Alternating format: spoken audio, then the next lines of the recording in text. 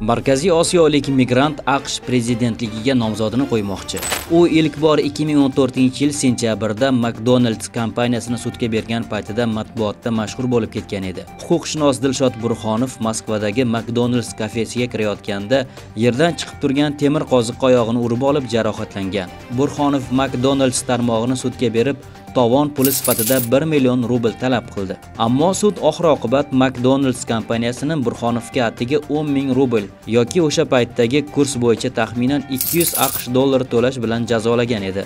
Uning so'zlariga ko'ra, ularning nizosi sudgacha borishdan oldin McDonald's vakili unga qo'ng'iroq qilib, voqea uchun uzr so'ragan va unga kompensatsiya sifatida tekin tushlik taklif qilgan. makdonalds bilan sudlashgan o'sha huquqshunos endi AQSh prezidentligiga nomzodini qo'yish harakatiga tushgan.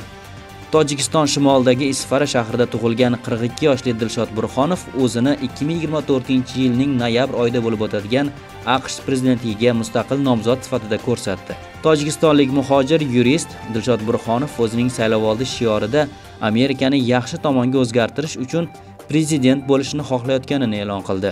U monopoliyaga barham berish, tabiiy resurslar va gaz narxlarini tartibga solish tarafdori.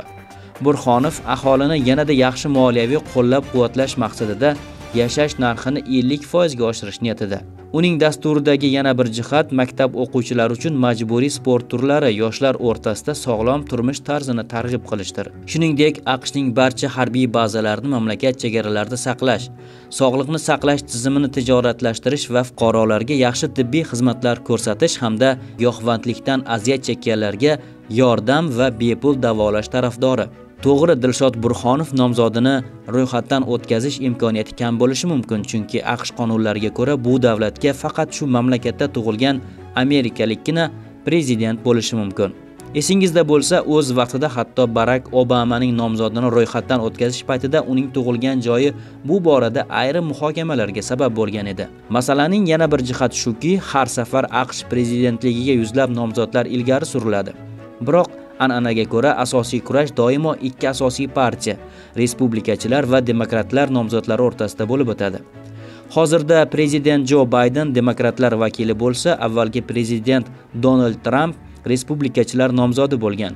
2024-yilgi saylovlarda Trump Baydendan qasos olishni va Oq uyga qaytishni niyat qilmoqda.